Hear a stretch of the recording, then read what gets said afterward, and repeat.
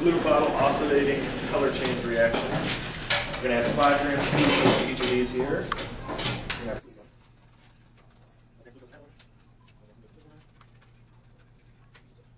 Okay, now we're gonna add five grams of sodium hydroxide, solid, to each of these. Whoa.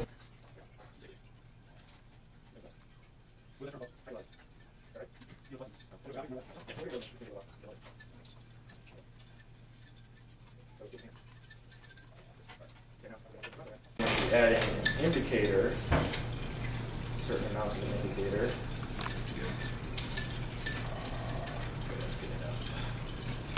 This one, we're going to be adding methylene blue, 20 drops or so.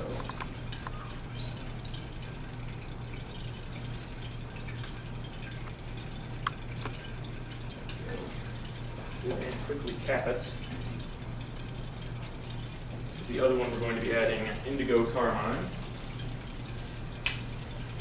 About 40 drops.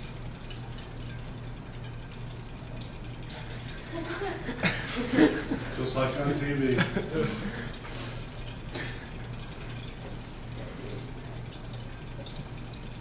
Okay. And now we'll let it sit a little while.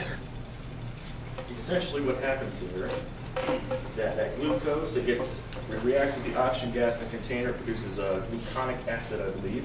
And gluconic acid reacts with sodium hydroxide to produce some other really crazy name, something, uh, what's that? Uh, something crazy. But then the indicator speeds that second reaction, reaction along. As it's speeding the reaction along, it changes itself, so it's not really a catalyst so much as just a uh, oxygen transfer. Is what it's, uh, gets reduced and it becomes clear colorless in this case and red in this case. It takes a couple of minutes, I believe.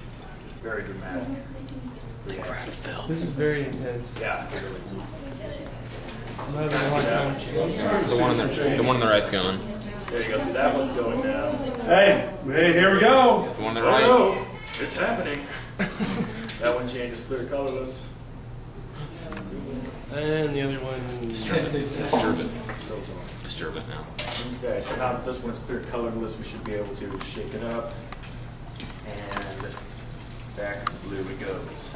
That's repeatable maybe 10 times or so, or one day. It goes back to blue because more of that uh, crazy